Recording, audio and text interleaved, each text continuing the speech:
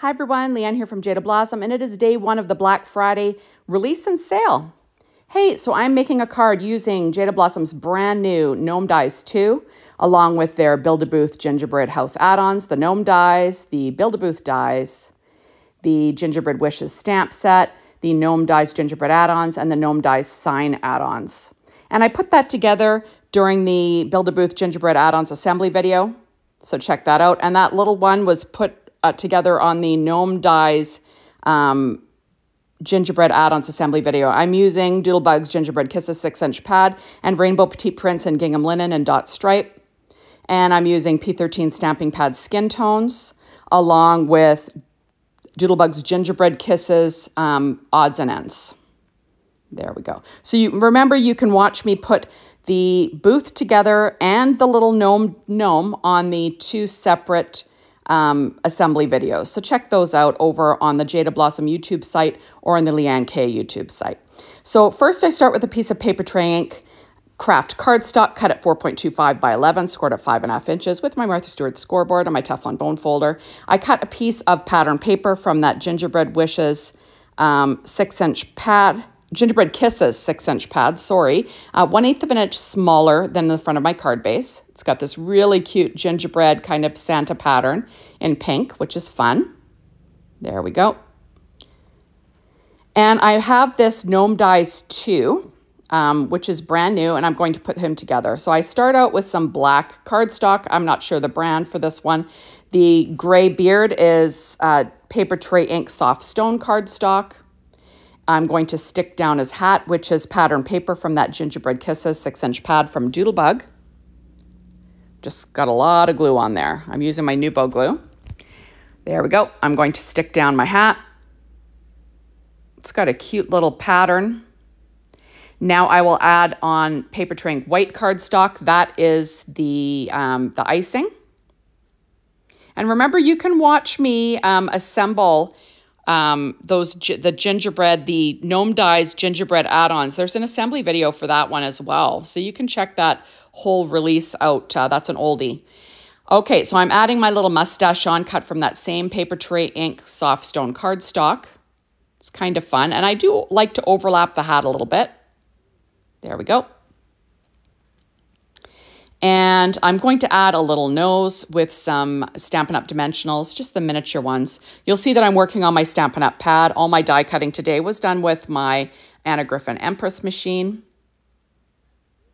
There we go. Isn't that cute? Now I'm going to add the little jimmies or candies or whatever you want to call them on his hat. Now I cut them into in um, two colors, um, sort of like a, an aqua from the from like an aqua and like a hot pink from the gingham linen pads from Doodlebug, but I use the linen side. I cover these up a little bit later anyway, but you know, I started out with these colors first. So I'm just adding them all on using my Studio Katia embellishment wand. Remember, most of them are the same. Most companies have them. Um, they're a great little tool for those tiny die cuts. And I do weight that down. Now I'm pulling out my Gingerbread Wishes stamp set and I'm going to stamp on the little sign. I already cut that out with um, Papertrey Ink craft cardstock or out of Papertrey Ink craft cardstock. And I'm going to stamp my sentiment. I'm, I'm freehand stamping, so I'm stamping off to the side to make sure it's stamping well. I'm using an acrylic block and uh, VersaFine Clair Nocturne ink. So it says, have a tasty what does it say here? Have a tasty holiday. Sorry, like when I'm doing my voiceovers, I'm looking at a little window, so it's hard to see. There we go. And I cut it out a white first, Papertrey cardstock, and then I'm going to add my little craft sign to the front of this. There we go. And then I will weight that down with an acrylic block while it dries. There we go. Now I'm going to add a piece of Neenah uh, Solar White 80 pound cardstock to the inside of my card, four by five and a quarter inches, just with a little bit of glue, using that Nuvo glue. And the nice thing about glue is you got some wiggle time, right? There we go. Now I'm going to add a one inch strip of paper from that same Doodlebug Kiss, um, Doodlebug paper pad called Gingerbread Kisses. I'm using the six inch version and just a one inch strip and I will cut off the overhang with a pair of scissors. So it's nice and easy stuff. It's a really cute little pattern, I think perfect for a gingerbread, you know, looking house on the outside of a card, right? There we go. And so cute. There. Now I'm going to make sure that that score line is quite flattened. Now on the inside of the card, I'm going to stamp my sentiment, and it's from that same sentiment stamp set called uh, Gingerbread Wishes. And I'm just going to stamp right in onto the inside of my card. I'm using my Simon Says stamp like acetate sheet, and it just helps line things up. You'll see that I've got a waffle flower grip mat in my MISTI. Um, I'm liking that. It really holds the paper well, so it doesn't move around. Now I'm going to stamp that sentiment right on the inside. You'll see to my right, I have a little piece of ephemera or whatever you want to call it. And that is from the Doodlebugs um, Gingerbread Kisses Odds and Ends set. I just thought it was cute because it has a super cute little gingerbread person on there. Now I'm going to add three hearts from that same Odds and Ends set. There we go. And um, I just kind of like the look of it. I think it looks pretty. You know, it's nice to pretty up the inside of your cards sometimes. People don't expect it. Now I'm pulling out a white jelly roll pen um, from Sakura, number 10, and I'm just going to add some freckles and highlights. You know, no rhyme or reason. I don't follow a light source because I'm not that talented. I just sort of sprinkle them here and there. And it's enough. I think it makes a difference.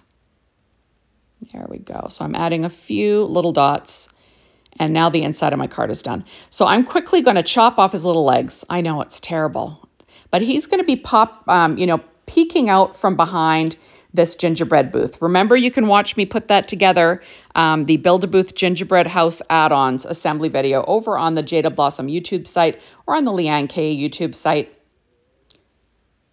There we go. And everything will be listed on my blog that went into building that.